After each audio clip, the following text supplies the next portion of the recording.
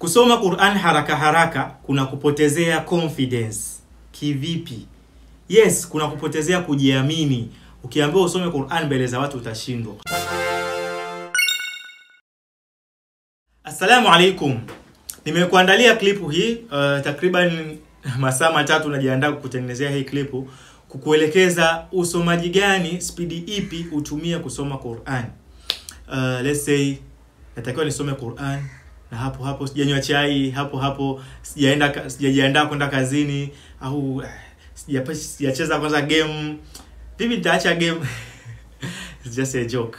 So, speed ipi usomee Qur'an? Let's say una drive gari, una unalo gari, unaendesha, okay?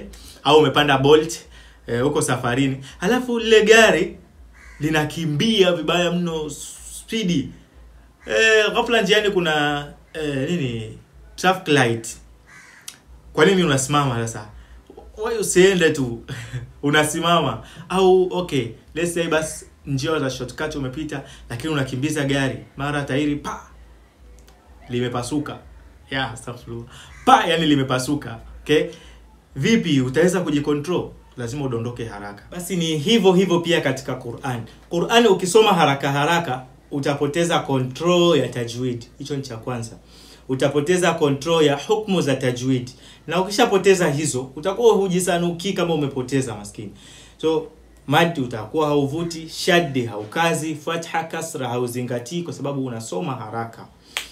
E, ninaye wa- mwanafunzi huwa anawafundisha ni mtoto so nikimfundisha huwa anaenda kuna anas, unakuta mtu anasoma spidi sana mpaka ukisema umkosoe anakuja kusimama aya ashafika ya mbele sana.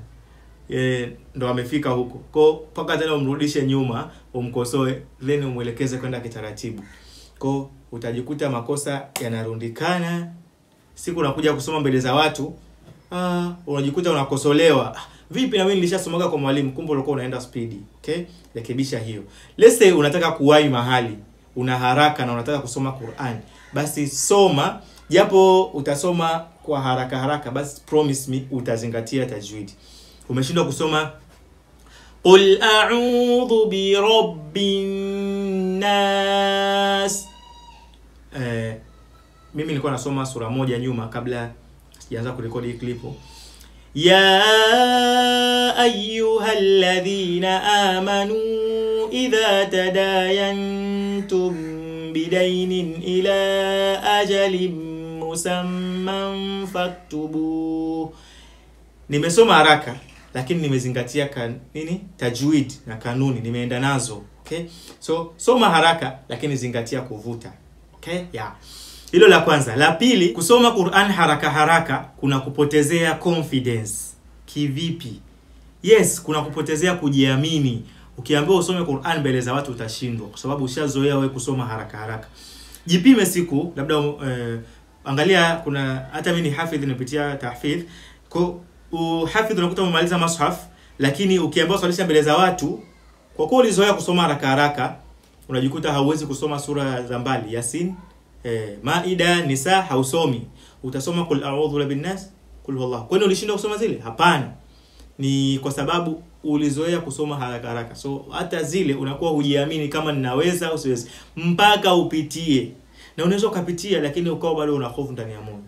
Hiyo inasababishwa na kusoma Qur'an haraka haraka. Na kosa lingine la tatu na ni baya zaidi ukisoma Qur'an bila kuzingatia hukumu za msingi ukasoma haraka haraka unajipotezea ujira. Utakuwa ujiulize unasoma kwa ajili ya nani? Nasoma kwa ajili ya Allah. Allah amesemaje? E, mtume anasema katika hadithi ukisoma herufi moja unalipwa thawabu kumi so unasoma hauzingatii hukumu hii herufi imeandikwaje umeisoma tofauti unajipotezea ujira. Na Allah anakusikiliza unatakiwa utambue hilo. Allah anasikiliza kiara chako. So kisome vizuri.